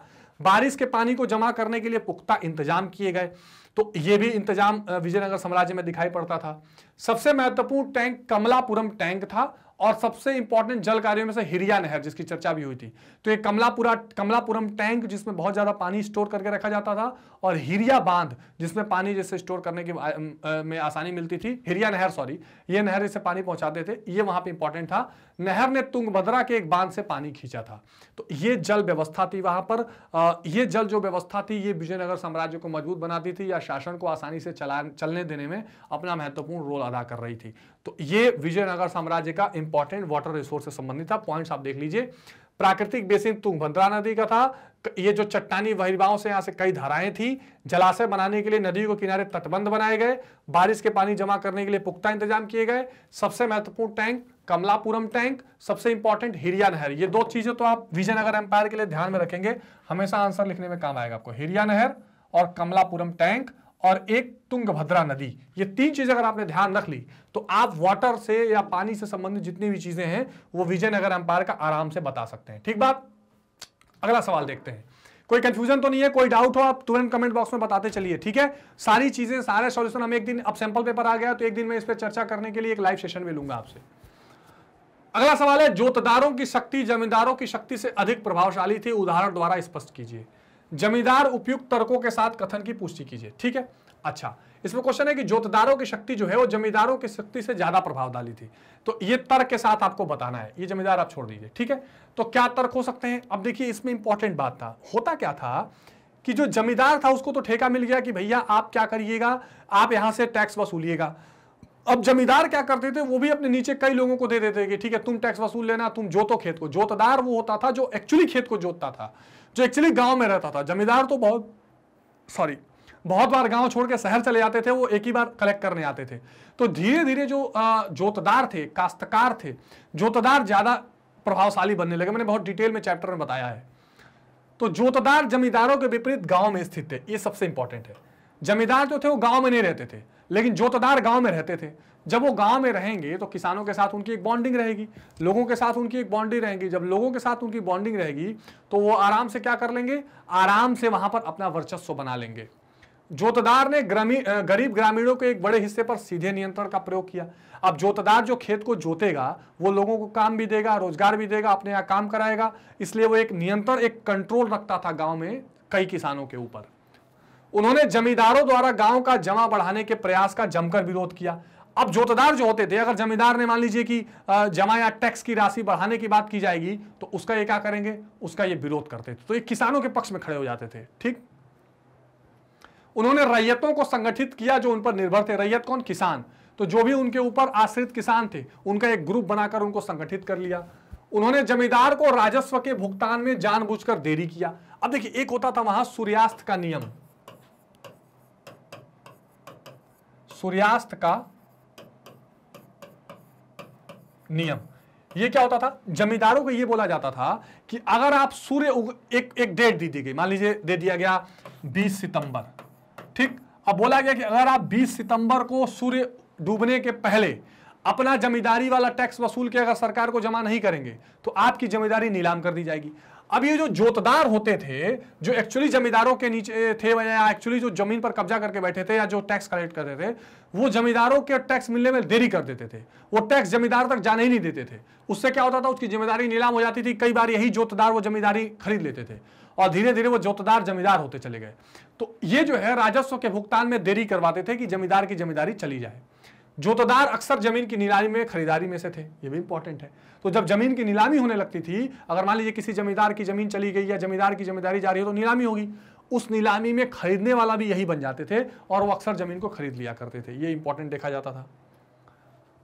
अब अगला सवाल है, कला और साहित्य ने अठारह की स्मृति को जीवित रखने में मदद किया। भारतीय दृष्टिकोण से इस उदाहरण को स्पष्ट कीजिए। बहुत इंपॉर्टेंट क्वेश्चन है कि कैसे कला और साहित्य से जो आपका आप कह सकते हैं कि अठारह की क्रांति थी जीवित रही। तो लड़ाई में विद्रोह के नेताओं ने को अग्रणी नायक के रूप में प्रस्तुत किया गया। कला संस्कृति लिखा गया कि जो भी विद्रोह में, जैसे मान लीजिए रानी लक्ष्मीबाई ने लड़ाई लड़ी तो लिखा गया कि खूब लड़ी मर्दानी, वो तो झांसी सुभद्रा देवी चौहान, मर्दानी, झांसी वाली रानी थी। कुंवर सिंह को एक एक नेता और एक हीरो के रूप में आज भी बिहार में जाना जाता है, उसमें भी बताया गया। कुंवर सिंह, सबको बताया गया। सभी मुगल शासकों के खिलाफ एक एक रोष लोगों में था, लेकिन बहादुर शाह ज़फ़र को लेकर थोड़ी सहानुभूति आई क्योंकि वो अंग्रेज़ों से लड़ा। तो कला संस्कृति में इनको ऊपर दिखाया गया। इसने लोगों को दमनकारी शाही शासन के प्रति आक्रोश जगाने में मदद की। जो कला और साहित्य था, वो ऐसा लिखा पढ़ा जाने लगा कि धीरे धीरे जो दमनकारी नीतियाँ थी अंग्रेज़ों की, इसके बारे में लोग जानने लगे, जागरूक होने लगे। तो इससे मदद मिली। लक्ष्मीबाई की वीरता के बारे में वीर कविताएँ लिखी गई। रानी ने अपनी मातृभूमि की आज़ादी के लिए लड़ाई लड़ी, ऐसा बताया गया। झांसी की रानी का पीछा करते हुए एक मर्दाना आकृति के रूप में प्रतिनिधित्व किया गया। दुश्मन ब्रिटिश सैनिक को मारना और अपने अंतिम समय तक बहादुरी से लड़ना, ये सारी चीज़ें कला साहित्य में दिखाई गई। झांसी की रानी का पीछा करते हुए एक मर्दाना आकृति के रूप में प्रतिनिधित्व किया गया तो ये लगभग सेम पॉइंट्स हैं। लोकप्रिय प्रिंटों में रानी लक्ष्मीबाई को आमतौर पर युद्ध में चित्रित किया जाता है। कवच हाथ में, तलवार, घोड़े की सवारी, ये सारी चीज़ें एक ऐसे प्रतीक के रूप में दिखाई जाती हैं कि बहुत बहादुरी की बात हो। सुभद्रा कुमारी चौहान ने लिखा था, खूब लड़ी मर्दानी, वो तो झांसी वाली रानी थी। तो इससे आपको स्पष्ट हो जा रहा होगा कि कैसे साहित्य ने इसको और ग्लोरीफाई किया है। अब अगला सवाल इसी में अथवा करके है कि अफवाहों और भविष्यवाणी ने अठारह सौ सत्तावन की क्रांति में महत्वपूर्ण भूमिका निभाई, उदाहरण से बताइए। तो जो भविष्यवाणियाँ हुई, अफवाह हुए, जो बहुत सारे मैसेजेस पास किए गए, उसने क्या भूमिका निभाई समझ लीजिए। तो जैसे एनफील्ड राइफल्स के कारतूस में कहा गया कि भाई उस कारतूस में सुअर और गाय का मांस है तो इसलिए सभी सैनिकों ने विद्रोह कर दिया। तो गाय और सुअर की चर्बी से ढकी गोली उन गोलियों को काटने से उनकी जाति और धर्म भ्रष्ट हो जाएगी ऐसा बताया गया। आटा के बारे में बोला गया कि अंग्रेज़ों ने बाज़ार में जो बिकने वाले आटे हैं उस, उसमें जो है सुअर की और गाय की हड्डियों के धूल को मिला दिया है। एक ये बात आई जिससे विद्रोह हुआ। चपाती की उत्तर भारत के कई हिस्सों में चपाती बांटी जा रही है कमल का फूल बांटा जा रहा है ऐसी बात आई। लोटा और खलासी का मुद्दा में ये बोला गया कि एक ब्राह्मण सिपाही से पानी के कंटेनर में एक निचली जाति के खलासी ने पैसा मांगा आ, पानी मांगा तो ब्राह्मण ने कह दिया कि इससे जाति प्रदूषित हो जाएगी और पानी प्रदूषित हो जाएगा। ये कुछ ऐसे अफवाह थे जो धार्मिक और सैन्य रूप से उन्माद पैदा कर रहे थे और एक तरह से ये उन्माद इतना बढ़ा कि पूरा म्यूटिनी और पूरा विद्रोह हो गया। तो ये भी एक इंपॉर्टेंट प्रश्न था। अब इसमें अगला सवाल है कि महाभारत काल के दौरान देखे गए पारिवारिक संबंधों का वर्णन कीजिए। महाभारत काल के समय की बात की जा रही है। तो इसमें परिवार आमतौर पर लोगों के एक बड़े नेटवर्क का हिस्सा होते थे और वो जो हिस्सा होता था वो रिश्तेदारों का हिस्सा था। मतलब रिश्तेदारों का नेटवर्क है जिसका भाग एक परिवार होता था। एक ही परिवार के लोग भोजन, संसाधन, कार्य सब चीज़ों को साझा करते थे और एक साथ यज्ञ अनुष्ठान आदि भी करते थे। पारिवारिक संबंधों को अक्सर स्वाभाविक और रक्त पर आधारित माना जाता था कि ये ब्लड रिलेशन है, ऐसा उस समय देखा जाता था। पितृवंश के बारे में नियम महाभारत पितृवंश को महाभारत जो है पितृत्व को दर्शाता है, जिसको आप पैट्रियार्कियल कहते हैं। ये बताता है कि कौरव और पांडव के बीच भूमि और सत्ता को लेकर एक झगड़ा था और लगभग हर झगड़े में जो हेड बताया गया, जो हर मुद्दे में जो सबसे प्रमुख जिसको दिखाया गया प्रमुखता से, वो वो पुरुष होते थे। अधिकांश शासक राजवंशों ने थोड़ी भिन्नता के साथ पितृवंश का पालन किया, यानी अपने पितृ के ही वंश को आगे बढ़ाया और उन्हीं के नाम से वंश बना।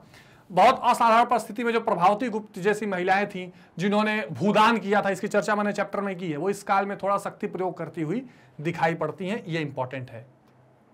विवाह के नियम की बात करें तो इसमें दो प्रणालियाँ थी एंडोगेमी एक्सोगेमी यानी एक समुदाय और समाज के भीतर और एक उसके बाहर। लड़कियों की शादी सही समय पर और सही व्यक्ति से हो जाती थी। कन्यादान या विवाह में कन्या का उपहार पिता का एक महत्वपूर्ण धार्मिक कर्तव्य था।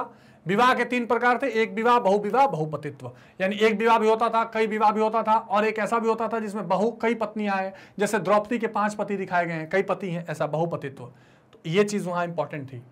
धर्मसूत्र, धर्मशास्त्र और मनुस्मृति में विवाह के नियमों का संकलन किया गया है। मैंने आपको चर्चा की है, राक्षस विवाह पैशाच्य विवाह ब्रह्म विवाह, है ना? ये सारे विवाहों की चर्चा की है, ज़रूर आप देख लेंगे।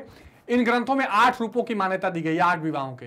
महिलाओं के लिए गोत्र का नियम इंपॉर्टेंट था। प्रत्येक गोत्र का नाम किसी वैदिक ऋषि से होता था। जैसे मान लीजिए सांडिल्य गोत्र, गर्ग गोत्र, अगस्त गोत्र और उन्हीं जो उन गोत्र को फॉलो करने वाले लोग उनके वंशज होते थे। वे सभी जो एक गोत्र के थे, उन वंशज के रूप में देखे जाते थे। गोत्र के बारे में दो नियम महत्वपूर्ण थे। महिलाओं से अपेक्षा थी कि विवाह पर अपने पिता के गोत्र को त्याग दें और पति का गोत्र अपना ले। ख, एक ही गोत्र में विवाह पर रोक थी। सगोत्री विवाह जिसको कहते हैं ये इसको इस पर रोक थी सगोत्र ये आज भी फॉलो किया जाता है। इसका साइंटिफिक रीजन भी बताया जाता है। सगोत्री विवाह जो है, यानी सेम ब्रीड में विवाह नहीं होना चाहिए। माताओं के लिए महत्व दिया गया था, ये इंपॉर्टेंट है। अब अगला सवाल है अथवा में कि महाभारत काल के दौरान संसाधनों तक पहुँच के सामाजिक निहितार्थों का वर्णन कीजिए। संसाधनों तक समाज में किस किस लोगों की पहुँच थी या क्या नियम थे समझ लीजिए। तो संपत्ति के लिए लैंगिक पहुँच। धर्मशास्त्रों के अनुसार पैतृक संपत्ति को बाद में बेटों के बीच समान रूप से विभाजित किया जाता था। सबसे बड़े के लिए एक विशेष हिस्से के साथ, यानी जो सबसे बड़ा पुत्र होता था, उसको कुछ विशेष हिस्सा दिया जाता था, बाकी लोगों में बराबर संपत्ति बांटी जाती थी। महिलाएँ इन संसाधनों के हिस्से का दावा नहीं कर सकती थी। महिलाओं को स्त्री धन बनाए रहने की कुछ अनुमति थी। अगर पति के बिना उनके बच्चे हैं तो बच्चों को विरासत मिल सकता था। पति का उस पर कोई अगर दावा नहीं हो तो ये इंपॉर्टेंट था। धनी महिलाएँ जैसे वाकाटक, रानी प्रभावती गुप्त, ज़मीन सहित संपत्ति थी। ऐसे उदाहरण मिले कि कुछ ऐसी भी महिलाएँ थी जिनके पास ज़मीन के साथ संपत्ति थी। पुरालेख और पाठ्य साक्ष्य बताते हैं कि उच्च वर्ग की महिलाएँ संसाधन, भूमि, मवेशी और धन तक उनकी पहुँच थी। वर्ण और संपत्ति तक पहुँच। धन तक पहुँच के नियमन के लिए मानदंड वर्ण था। वर्ण जो है वो धन का एक मानदंड था। आप किस वर्ण के हैं, यानी उच्च वर्ण को ज़्यादा संपत्ति प्राप्त थी, धन प्राप्त था। विभिन्न व्यवसायों को वर्णों के लिए सूचीबद्ध किया गया था। अलग अलग जो प्रोफेशन था वो अलग अलग वर्ण का था। जो जो ब्राह्मण था वो कर्मकांड करना, यज्ञ करना, दान लेना, जो क्षत्रिय था वो रक्षा करना, दान देना करना जो वैश्य था वो व्यापार और कृषि करेगा और शूद्र सबकी सेवा करेगा। तमिल संगम संकलन में शामिल कविताएँ अक्सर प्रकाशित होती थी, जो सामाजिक और आर्थिक संबंध को दर्शाती थी। अमीर और गरीब के बीच मतभेद था, जो संसाधनों को नियंत्रित करते थे, उन्हें भी साझा करने की उम्मीद थी कि वो भी संसाधन थोड़ा लोगों में बांटे या उसको शेयर करें। अब एक सवाल है, एक स्रोत के रूप में आईने अकबरी का महत्व और सीमाओं की विश्लेषण करिए। अब आईने अकबरी बहुत इंपॉर्टेंट रूप से हमें देखा गया कि आईने अकबरी किसने लिखी? आईने अकबरी। ये किसने लिखी थी? अबुल फजल ने डिटेल में इस पर एक वीडियो हमने बनाया हुआ है, आप ज़रूर देख लीजिएगा। अबुल फजल कौन था? जो एक तरह से आप कह सकते हैं कि दरबारी इतिहासकार था और सलाहकार भी था अकबर का। आईने अकबरी तीन जिल्दों में डिवाइड है। किसमें तीन पार्ट या तीन जिल्द। तो दो भागों में क्या है? ऐतिहासिक वर्णन है। इतिहास के बारे में। ऐतिहासिक वर्णन। और एक भाग में आईने अकबरी है। अकबर के सारे शासन प्रशासन का लेखा जोखा आईने अकबरी। ठीक है, ये भी पाँच भागों में डिवाइडेड है। इस, ये लिखा गया है फारसी में। बस इतनी जानकारी तो आपको ज़रूर होनी चाहिए, चाहे कुछ भी हो जाए। ठीक है जी? चलिए, पंद्रह सौ अंठानवे, सोलह सौ चार तक बन गई पूरी है तो अब आईने अकबरी एक स्रोत के रूप में कैसे देखी जाती है? देख लीजिए, सबसे पहले तो ये दरबारी इतिहासकार द्वारा लिखी गई थी। दरबार की सारी चीज़ें थी इसमें। अब इसमें देखिए, आईन आइन जो है, यानी आइन अकबरी को आइन ही कहते हैं आइन को संविधान भी कहा जाता है, नियम कानून। मुगल के संगठन का विस्तृत विवरण देता है, इसमें अदालत, प्रशासन, सेना, राजस्व के स्रोत और अकबर के साम्राज्य के बारे में प्रांतों का भौतिक जानकारी है कि कहाँ तक प्रांत फैले थे। इसमें लोगों की साहित्यिक, सांस्कृतिक और धार्मिक परंपराएँ शामिल थी। इसमें साम्राज्य के प्रांत या सूबों का विवरण है, यानी कौन कौन से प्रांत हैं, प्रांतों में क्या भू राजस्व प्रणाली है, सारी चीज़ें बताई गई हैं। हमें मुगल प्रांतों की जटिल और मात्रात्मक जानकारी देता है क्वांटिटेटिव सारी नॉलेज देता है, विभिन्न देशों में प्रचलित विविध रीति रिवाज और प्रथाओं का विवरण विस्तृत रूप से देता है। अकबर के शासन काल के बारे में जानकारी की इसमें खान है। भू राजस्व प्रणाली सबसे महत्वपूर्ण किसकी थी? ध्यान रखिएगा। भू राजस्व किसने विकसित किया? अकबर में टोडरमल। टोडरमल कौन था?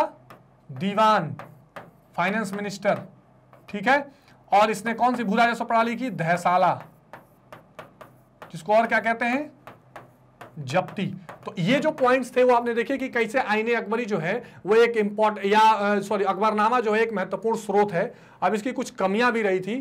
तो कुल योग में कई कमियाँ पाई गई, जो टोटल किया जाता था मात्राओं का, यानी जो स्टैटिस्टिकल या सांख्यिकी जो गणना थी, उसमें कई कमियाँ थी। मात्रात्मक आंकड़ों में विषम परिवर्तन देखे गए, यानी कहीं कुछ आंकड़ा है, कहीं कुछ आंकड़ा है अलग अलग प्रांत के अलग अलग तरह के आंकड़े निकाले गए थे।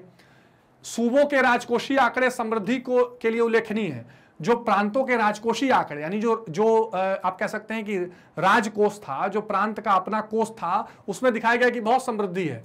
लेकिन कीमत और मजदूरी जो इंपॉर्टेंट एक पैरामीटर होते हैं, या मानक होते हैं, इसको आप मानक लिख लीजिएगा, जो एक महत्वपूर्ण मानक होते हैं, इस, इन समान श्रेणियों के रूप में अच्छी तरह प्रलेखित नहीं है। मतलब जो राजा का राजकोष था, उसके बारे में तो ठीक जानकारी है, पर आम जनता के लिए जो मजदूरी और कीमत वाली चीज़ है, इसकी कोई जानकारी ठीक से नहीं है। कीमत और मजदूरी की विस्तृत सूची मुख्य रूप से आगरा की शाही राजधानी या उसके आसपास के संबंधित क्षेत्रों से ली गई है। और अगर कहीं कीमत और मजदूरी बताई भी गई है तो जो राजधानी वाला इलाका था, वहीं से बस लिया गया है। इसलिए इसकी प्रासंगिकता या लिमिटेशन इसकी जो रिलेवेंस है, वो थोड़ा सीमित है या लिमिटेड है। अब इसी में एक अथवा करके सवाल है कि उन तरीकों की जाँच करें जिनसे पंचायतों ने मुगल ग्रामीण इलाकों को नियंत्रित किया। कौन कौन से वो तरीके थे कि पंचायत जो है रेगुलेट करते थे ग्रामीण इलाकों को? तो ग्राम पंचायत वंशानुगत संपत्ति पर अधिकार वाले बुज़ुर्गों की सभा थी। हमने देखा था कि जो बुज़ुर्ग गाँव के होते थे, वही पंचायत को स्टेब्लिश करते थे। पंचायत आमतौर पर एक विषम निकाय था। विषम निकाय यानी कितना लोग होगा, उस पर कोई कंफर्म ऐसा नहीं था कि चार होंगे, छह होंगे, विषम होते थे। पंचायत विभिन्न जाति और समुदायों का प्रतिनिधित्व करती थी। पंचायत द्वारा लिए गए निर्णय सदस्यों के लिए बाध्यकारी होता था। पंचायत के मुखिया क्या कहलाता था? मुकदम या उसको मंडल भी कहा जाता था। ये हमने बहुत विशेष रूप से देखा था। और बुज़ुर्गों का वर्चस्व सबसे इंपॉर्टेंट था। मुखिया का चुनाव गाँव के बड़ों की आम सहमति से होता था और इस विकल्प को जमींदारों द्वारा अनुमोदित किया जाता था। जो भी पंचायत का मुखिया बनता था, उसको बाद में परमिशन लेनी पड़ती थी जमींदार से कि हाँ वो मुखिया ठीक है। मुखिया तब तक पद पर बने रहते थे जब तक गाँव के बुज़ुर्ग का विश्वास का आनंद लेते थे। मतलब जब तक गाँव के बुज़ुर्गों का विश्वास उनको मिला रहता था, तब तक वो मुखिया रहते थे। ऐसा ना करने पर उनके द्वारा बर्खास्त किया जा सकता था। मुखिया का मुख्य कार्य लेखाकार या पंचायत के पटवारी की सहायता से ग्राम का लेखा, यानी जो अकाउंटेंट अकाउंट होता था, उसको तैयार करना और उसकी देखरेख करना, ये इसका मेन काम होता था। छोटे मोटे और काम, नदी नाली बनाना, सफ़ाई करवाना, ये सब काम भी रहते थे। पंचायत अपने लिए वित्त की व्यवस्था, सबके सहयोग से एक सामान्य वित्तीय पूल के माध्यम से इकट्ठा किया। यानी सभी लोग मिलकर एक चंदा जैसा पैसा फंड इकट्ठा करते थे उसी से पंचायत अपना वित्तीय काम करती थी। गाँव में रहने वाले विभिन्न लोगों के बीच जाति की सीमाओं को बरकरार रखा गया कि जाति प्रथा ना टूटे, इसका ध्यान रखते थे। एक जाति पंचायत भी होती थी इसमें। जाति पंचायत। इसकी भी चर्चा मैंने चैप्टर में की है कि वो अलग अलग जातियों के बीच निपटाते थे मामले को। पंचायतों को जुर्माना लगाना, गंभीर दंड देना और गाँव से निष्कासित करना, ये सारे अधिकार पंचायतों को प्राप्त थे। छोटे मोटे जो फौजदारी मामले होते थे, क्रिमिनल केसेस को छोड़ के सारे ये केसेस खुद हैंडल कर लेते थे। अब अगला सवाल है कि असहयोग आंदोलन की महत्व की व्याख्या करें। इसको क्या बोलते हैं? Non cooperation movement non cooperation movement असहयोग आंदोलन। क्या था भैया? औपनिवेशिक शासन को समाप्त करने के लिए गांधी जी ने खिलाफत और असहयोग को जोड़ दिया। 1920-21 का पूरा मामला था। ओटोपन, जो तुर्की का अंपायर था, उसको अंग्रेज़ों ने गिराया तो उसके खिलाफ यहाँ खिलाफत आंदोलन था और यहाँ असहयोग आंदोलन गांधी ने शुरू किया, दोनों को जोड़ दिया। इन आंदोलन ने औपनिवेशिक भारत में लोकप्रिय कार्रवाई की, जिससे एक अभूतपूर्व लहर बन गई। भारतीयों ने सरकार के साथ किसी भी स्तर पर सहयोग नहीं किया। स्कूल, कॉलेज और कानून अदालतों का बहिष्कार हो गया, जो सरकारी स्कूल और सरकारी कॉलेज थे। राष्ट्रीय स्कूल, कॉलेज सब खोले गए ठीक है ना? यानी कि यहाँ के लोगों ने अपने स्वदेशी कॉलेज और स्कूल खोले। टैक्स को नहीं भरने की बात की गई। जो उपाधियाँ थी, वो सारी उपाधियों को छोड़कर सरकार के साथ स्वैच्छिक जुड़ाव की बात हो गई। ठीक? मतलब सरकार के साथ स्वैच्छिक जुड़ाव और उपाधि, इनका सब त्याग कर दिया गया। इस आंदोलन ने भारतीय इतिहास की धारा बदल दी। गरीब किसान, मजदूर, छात्र, वकील, उद्योगपति सभी शामिल हुए। हिंदू, मुसलमान, पारसी, सिख एकजुट होकर रहे और इसमें कई सारे स्वयंसेवक यानी वॉलेंटियर शामिल हुए। तो ये एक बहुत बड़ा आंदोलन था, जिसमें पूरी तरह से विदेशी वस्त्र, विदेशी सहयोग, विदेशी स्कूल कॉलेज, विदेशी दफ्तर, कानून सब में असहयोग, यानी हम कोई कोऑपरेशन नहीं करेंगे, ये आंदोलन चलाया गया। कई अधिकारियों ने पदों से इस्तीफा दे दिया, बैठक में हर वर्ग के लोग शामिल हुए, महिलाओं ने बड़ी संख्या में भाग लिया, स्वशासन के लिए परीक्षण था। कि आप स्वराज या खुद का शासन चला सकते हैं कि नहीं, उसका एक परीक्षण था, एक टेस्ट था कि अगर हम इनका शासन छोड़ दें तो क्या हम खुद सर्वाइव कर पाएँगे? ये एक इंपॉर्टेंट बात थी। अब इसी में अथवा करके कि सविनय अवज्ञा आंदोलन, जिसको बोलते हैं civil disobedience movement civil disobedience movement जिसको नमक आंदोलन भी कहा गया। तो गांधी जी ने नमक कानून के खिलाफ सविनय अवज्ञा आंदोलन चलाया। नमक कानून ने राज्य को निर्माण के और बिक्री में एक अधिकार दिया था। नमक कानून में क्या था? राज्य जो होगा, जो सरकार होगी, उसको मोनोपोली होगी कि बस वही नमक बनाएगी और कोई नहीं बनाएगा।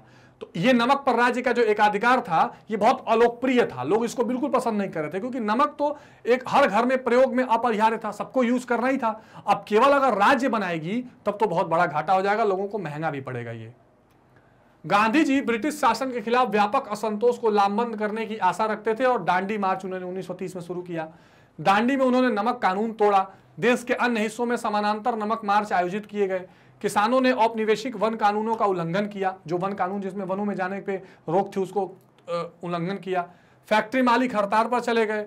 वकीलों ने ब्रिटिश अदालतों का बहिष्कार किया। छात्रों ने सरकार द्वारा चलाए जा रहे शिक्षण संस्थान और स्कूलों में जाने से इनकार कर दिया। तो ये सारी चीज़ें सिविल डिसोबीडियंस में चली। भारतीयों को गिरफ़्तार किया गया, गांधी जी ने उच्च जाति से अछूतों की सेवा करने का अनुरोध किया। हिंदू, मुसलमान, पारसी सिखों को एकजुट होने के लिए कहा गया। कई स्वयंसेवक शामिल हुए। अधिकारियों ने अपने पदों से इस्तीफा दिया। सभाओं में हर वर्ग को लेकर शामिल हो रहे थे। महिलाओं ने इसमें बड़ी संख्या में भाग लिया था। सिविल डिसोबीडियंस मूवमेंट का सबसे बड़ा अचीवमेंट यही था कि वुमेन पार्टिसिपेशन जो था, महिलाओं का पार्टिसिपेशन वो बहुत बड़ा। 1930 में ये सारा मामला चल रहा था। फिर गोलमेज सम्मेलन हुए, जिसमें द्वितीय गोलमेज सम्मेलन में गांधी ने भाग भी लिया था। दांडी मार्च ने गांधी की तरफ़ दुनिया को खींचा ध्यान। यूरोपीय और अमेरिकी प्रेस द्वारा इसको कवर किया गया। नमक मार्च ने अंग्रेज़ों को एहसास कराया कि उन्हें भारतीयों को कुछ शक्तियाँ देना पड़ेगा। और इसी तत्वाधान में गोलमेल सम्मेलन की बात हुई, जिसमें पहले में कांग्रेस ने भाग नहीं लिया था। अब इकतीसवां है कि अब एक यह आपका आ गया क्या? Source based question. Source based question. अब एक बहुत बड़ा पैराग्राफ या सोर्स आपको दिखाया जाएगा और इस सोर्स के हिसाब से आंसर देना है। तो सांची की एक झलक है, इसमें आप चाहे तो पॉज करके भी इन चीज़ों को पढ़ सकते हैं। कि भोपाल राज्य के प्राचीन अवशेषों में सबसे अद्भुत सांची कनखेड़ा की इमारतें हैं। भोपाल से 20 मील उत्तर पूर्व की तरफ़ एक पहाड़ी की तलहटी में बसे इस गाँव को हम कल देखने गए थे। हमने पत्थर की वस्तु बुद्ध की मूर्ति और एक प्राचीन तोरण द्वार का निरीक्षण किया। ये अवशेष यूरोप के सज, सज्जनों को विशेष रुचिकर लगते हैं जिनमें मेजर अलेक्जेंडर कनिंगम एक है। ये आपके एनसीआरटी का ही पार्ट है। मेजर अलेक्जेंडर कलिंगम ने इस इलाके में कई हफ्तों तक रुककर अवशेषों का निरीक्षण किया। उन्होंने इस जगह के चित्र बनाए, वहाँ के अभिलेखों को पढ़ा और गुंबद नुमा ढांचे के बीचों बीच खुदाई की। उन्होंने इस खोज के निष्कर्षों को एक अंग्रेज़ी पुस्तक लिखा है, भोपाल की नवाब शाहजहां बेगम की आत्मकथा ताजुल इकबाल तारिक भोपाल से अठारह सौ छिहत्तर में एस डी बाटो ने इसका अनुवाद किया। अब इसी सोर्स पर आपके लिए एक सवाल है। सिकंदर कनिंगम के लिए सांची की दिलचस्पी क्यों थी? कनिंगम आप जानते हैं कि कितना इंपॉर्टेंट इतिहास के लिए महत्वपूर्ण है भारतीय पुरातत्वेदा कनिंगम को स्तूप पर सचित रिपोर्ट तैयार करनी थी, इसलिए इंटरेस्टेड थे। सांची ड्रॉ जो है, यानी सांची का जो इंपॉर्टेंट ये बौद्ध विरासत का केंद्र भी है और भारत के इतिहास और पुरातत्व का एक महत्वपूर्ण हिस्सा है। इसलिए क्या थे? कनिंगम इसमें इंटरेस्टेड थे।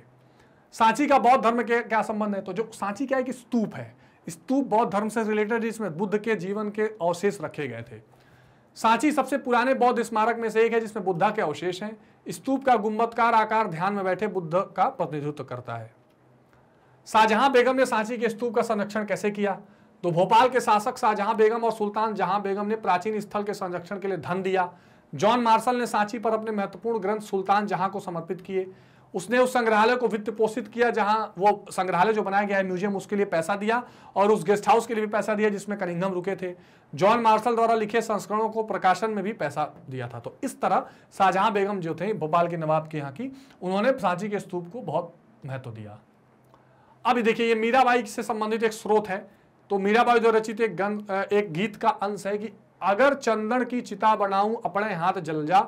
जलवल भई भशम की ढेरी, अपने अंग लग जा। मीरा कहे, प्रभु गिरधर नागर, जोत में जोत मिला जा। एक और पद में वो कहती हैं कि, राणो जी मेवाड़ मारो, कई करसी, मतो गोविंद रा गुड़ राणो जी रुससी गाँव, रसासी, हरि रुस्या कुमलास्या। तो ये उदाहरण राणा के प्रति मीराबाई के रुख के बारे में क्या बताता है? मीराबाई अच्छा ये मीराबाई को तपस्वी कहने के कारणों का परीक्षण कीजिए। पहला सवाल तो ये आएगा। तो मीराबाई ने तपस्या का जीवन व्यतीत किया और एक भक्ति और रहस्यवादी कवि बन गई। वह अपने समय की परंपराओं के खिलाफ खड़ी थी। उसने कृष्ण के लिए अपनी आध्यात्मिक भक्ति दिखाई। दूसरा प्रश्न है, मीराबाई के मेवाड़ के साथ संबंधों का विश्लेषण कीजिए। तो मीराबाई की शादी मेवाड़ के राजकुमार से हुई थी, लेकिन कुछ वर्षों के बाद मेवाड़ के राजा की मृत्यु हो गई और उन्होंने सब महल वहल त्याग दिया था, कृष्ण को अपना लिया था। मीराबाई भक्ति काल के कवि संतों से कैसे अद्वितीय हैं, कैसे सबसे इंपॉर्टेंट हैं, अनोखी हैं? तो भक्ति आंदोलन के कवि संतों में मीराबाई अद्वितीय थी। इसका सामाजिक, आर्थिक पृष्ठभूमि के साथ उनके लिंग के अनुसार भी वो अद्वितीय थी। एक तो बाकी संत जो है वो निचले कास्ट के निचले आर्थिक सामाजिक पृष्ठभूमि से थे। गरीबी में भी थे, लेकिन इनका आर्थिक सामाजिक पृष्ठभूमि बहुत ऊँचा था। फिर भी वो संत बन गई, इसलिए अनोखी थी। सभी पुरुष थे, ये महिला थी, इसलिए भी अनोखी थी।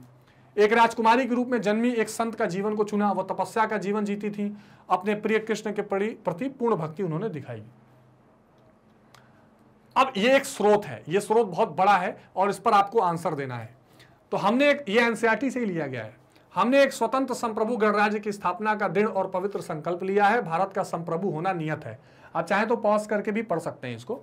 इसका स्वतंत्र होना और गणराज्य होना भी स्वाभाविक है। कुछ मित्रों ने सवाल उठाया है, आपने यहाँ लोकतांत्रिक शब्द क्यों नहीं रखा? मैंने उन्हें कहा कि निसंदेह यह सोचा जा सकता है कि कोई गणराज्य लोकतांत्रिक न हो, परंतु हमारा पूरा इतिहास इस सत्य का साक्षी है कि हम लोकतांत्रिक संस्थानों के पक्षधर हैं। स्वाभाविक है कि हमारा लक्ष्य लोकतंत्र है, लोकतंत्र से कुछ पहले कुछ भी नहीं। यह लोकतंत्र कैसा होगा, उसकी शक्ल सूरत कैसी होगी, यह एक अलग मसला है। आज के लोकतंत्रों ने दुनिया की प्रगति में ज़बरदस्त भूमिका निभाई और उनमें से बहुत सारे यूरोप तथा अन्य स्थानों के देश हैं। परंतु यह संदेहजनक हो सकता है कि अगर उन्हें पूरी तरह लोकतांत्रिक बने रहना है तो न जाने कब उन लोकतंत्रों को अपनी शक्ल सूरत थोड़ी बदलनी पड़ती है। मैं आशा करता हूँ कि किसी कथित लोकतांत्रिक देश की एक खास लोकतांत्रिक प्रणाली या किसी संस्थान विषय की हम सिर्फ़ नकल करने वाले नहीं हैं। हो सकता है कि हम उनसे बेहतर कुछ रच दें। बहरहाल, किसी भी सूरत में हम यहाँ जैसी चाहे सरकार बनाए, वह हमारे लोगों के स्वभाव के अनुरूप और उनको स्वीकार ज़रूर होनी चाहिए। हम लोकतंत्र के हक में हैं यह इस सदन को तय करना है कि इस लोकतंत्र, पूर्णतम लोकतंत्र का स्वरूप कैसा होगा। ठीक है, ये कॉन्स्टिट्यूएंट असेंबली संविधान सभा में चल रहा था। सदन इस बात को देख सकता है, यद्यपि इस प्रस्ताव में हमने लोकतांत्रिक शब्द का इस्तेमाल नहीं किया, क्योंकि हमें लगा कि यह तो स्वाभाविक है कि गणराज्य शब्द में यह शब्द निहित है, इसलिए हम अनावश्यक और अनुपयोगी शब्दों का प्रयोग नहीं करना चाहते थे। हमने शब्दों के उपयोग मात्र से कहीं ज़्यादा ध्यान दिया है। हमने इस प्रस्ताव में लोकतंत्र की अंतर्वस्तु प्रस्तुत की है, बल्कि लोकतंत्र की ही नहीं, आर्थिक लोकतंत्र की अंतर्वस्तु भी प्रस्तुत की है।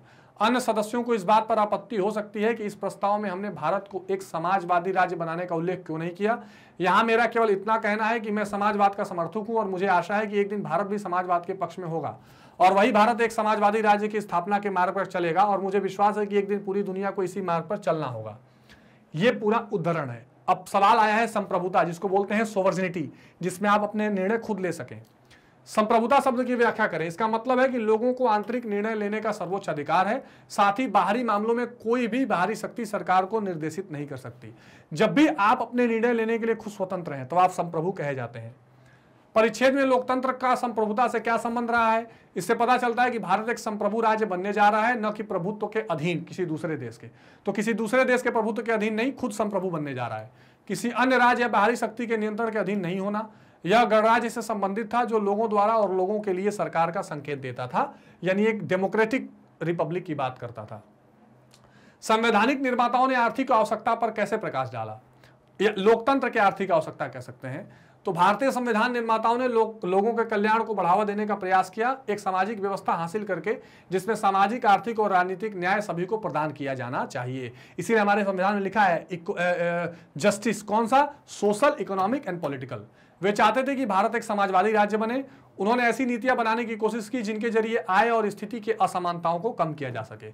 यानी इनकम और स्टेटस का जो डिफरेंस है या भेदभाव इसको कम कर सकें। अब आखिरी क्वेश्चन मैप आधारित है, जिसमें आपको अमरावती का एक बताना है। तो जो आंध्र प्रदेश में अमरावती का आप बता सकते हैं। तो नंबर वन आप आंध्र प्रदेश में दिखाएँगे। राखी गढ़ी जो हरियाणा में सिंधु घाटी सभ्यता तो आप यहाँ पर इजीली दिखा सकते हैं। दिस इज़ राखी गढ़ी ठीक है? ये हरियाणा में सेकंड नंबर आप राखी गढ़ी दिखा देंगे। थर्ड विजयनगर, कर्नाटक। तो इसमें तो कोई दिक्कत नहीं है। थर्ड विजयनगर हम्पी कर्नाटक दिखा देंगे। और आगरा, उत्तर प्रदेश में आप यहाँ इजिली दिखा सकते हैं। तो फोर्थ नंबर यूपी में दिखा देंगे।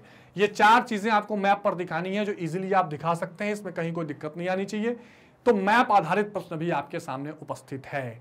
तो इस तरह हमने इस पूरे सैंपल पेपर को बहुत इतमान से समझ लिया। लॉन्ग आंसर्स के पॉइंट्स देख लिए। दो चार चीज़ें आपको क्लियर रखनी है। एक रीजन असर्सन करण काथक वाले करण का, कथन कारण वाले सवाल भी आएँगे बहुविकल्पीय सवाल भी आएँगे ये तो तय है।